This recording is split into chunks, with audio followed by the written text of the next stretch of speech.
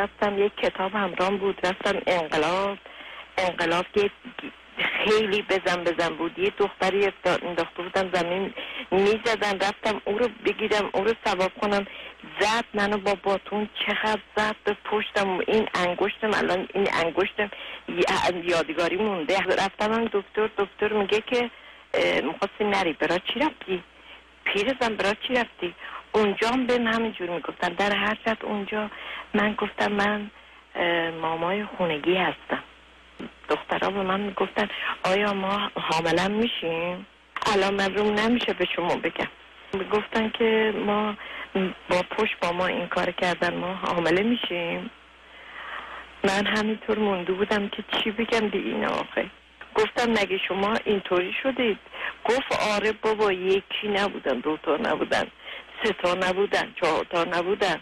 همینطور دخترک ها می‌گفتن دختر 16 ساله 17 ساله 20 ساله.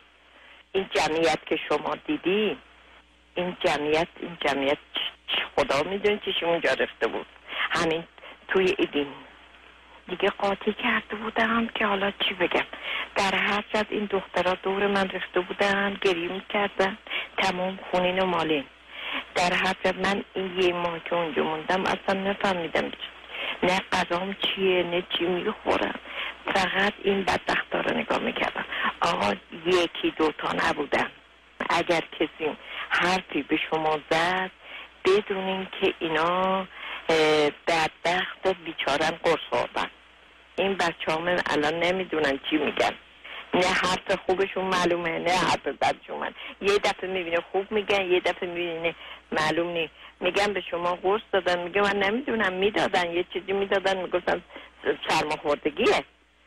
اینا اینجور اینجوری که حالشون اینجوری آقا. در هر دستمون به دامنتون یه کاری کنید برامون. چی چی اینا رو می‌زدن؟ چه بلاهایی به سری مرد پیرمرد بدبخت. پیرمرد و اینا باش اون خلافه کرده بودن. پیرمرد و همون پاسداره که اینا رو می آورد و می و اینا گفت شما توقعی دارید. اینا با پیرمرد از پیرمرد نمی‌زنن و حتی می‌زنن. می‌خواستی نه چشمت کور بشه. میگه نمی‌دونستی جریان چیه. بعد به این دخترها می‌گفتن. به این دخترها می‌گفتن این از پیرمرد پیرمرد بیا همین بلا رو سرش میارن تو که دیگه معلومه. بعد از یک ماه منو آزادم کردن. گفتن برو. برو گورتو گم کن دیگه این برا پیدات نشه. اینجوری بهم گفتن. یه مقدار پاشی کردن